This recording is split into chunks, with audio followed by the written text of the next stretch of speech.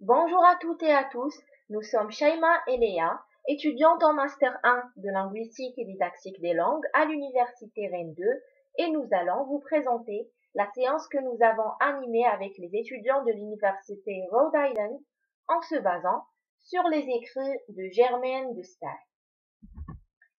Le programme de notre séance était le suivant. L'activité 1 avait comme but l'introduction du thème général de la séance en faisant référence au blog des étudiants publié la même semaine. Pour l'activité 2, elle concernait un débat sur la liberté de presse en France.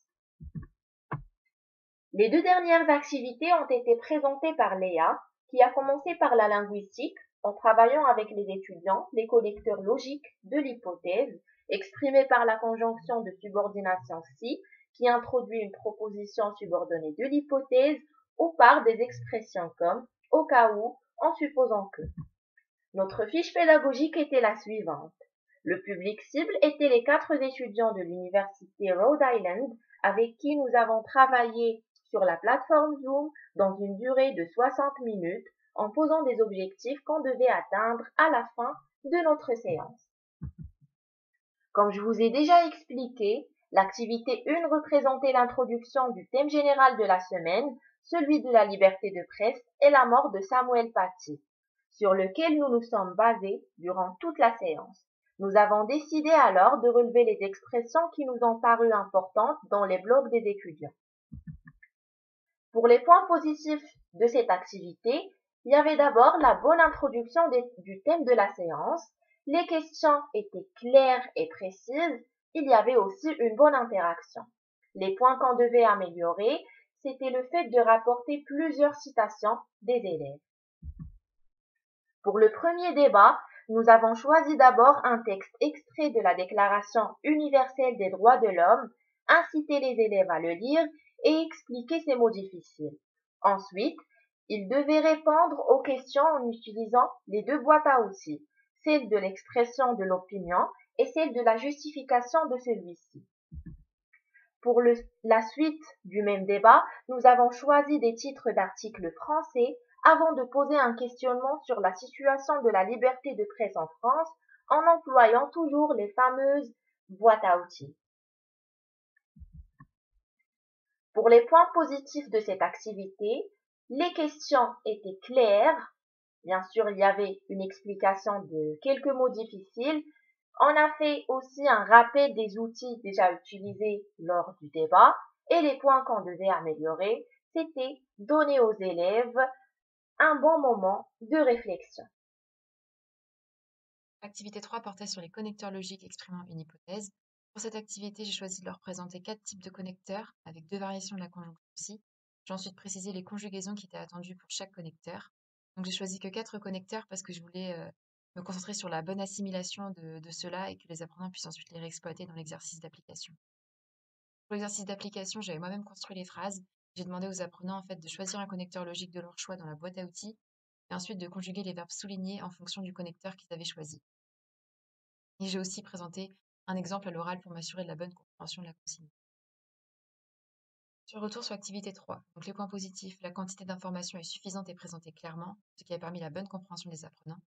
Les points à améliorer, introduire la grammaire de manière inductive et faire participer davantage les apprenants dans la lecture de la leçon afin d'éviter un monologue. Ensuite, on a travaillé sur la mort de Samuel Paty et d'une vidéo qui représentait la chronologie des faits qui ont conduit à son assassinat. Donc, vu que la vidéo durait 4 minutes, j'ai introduit par du vocabulaire qui était présent dans la vidéo Ensuite, j'ai présenté les questions que j'allais leur demander après le visionnage pour qu'ils puissent les prendre en note et avoir un visionnage actif. Le retour sur l'activité 4, donc les points positifs, le temps consacré à introduire l'activité, ce qui fait que les apprenants ont participé activement parce qu'ils avaient bien compris les consignes et la vidéo. Les points améliorés, l'aspect technique, on a eu un problème de son lors du visionnage. En fait, on ne pouvait pas entendre la voix de la journaliste, mais heureusement, on avait les sous-titres. Et enfin, on aurait pu approfondir l'activité en réalisant une prise chronologique à compléter à la fin du visionnage.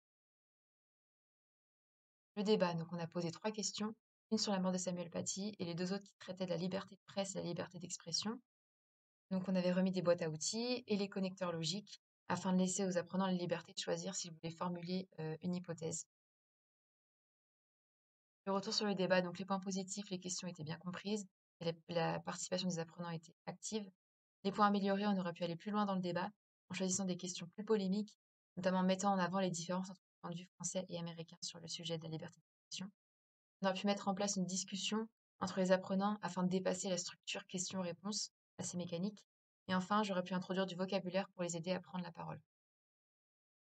Concernant la participation des apprenants, sur notre fiche de feedback, on peut voir que les trois apprenants, euh, ils ont pris la parole euh, de nombreuses fois et de façon spontanée. Shaima et moi, on a dû interroger que deux fois euh, les apprenants. Ils ont tous une expression qui est très fluide, avec des bons arguments et des idées pertinentes par rapport au sujet. en général, c'est un groupe motivé qui prend la parole avec aisance et ils font très peu d'erreurs qui n'entachent en rien la. Alors maintenant, je vais passer un petit extrait de la séance. La première question que je vais vous poser, c'est que ressentez-vous à propos de la mort de Samuel Paty? Donc, je sais que vous avez déjà donné votre avis dans vos blogs, mais peut-être qu'après la vidéo ou après notre cours, vous avez peut-être changé d'avis ou pas, vous avez le droit. Et donc, je vous demande vraiment personnellement, qu'est-ce que vous ressentez à propos de sa mort? Est-ce que c'est de la tristesse, de la colère, ou alors vous ne ressentez rien? Qu'est-ce que vous en pensez?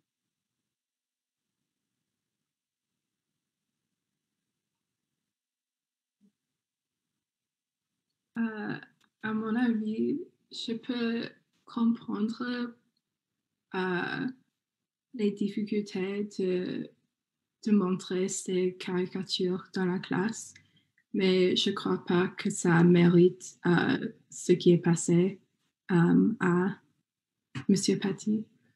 Alors, c'est un événement très triste et oui.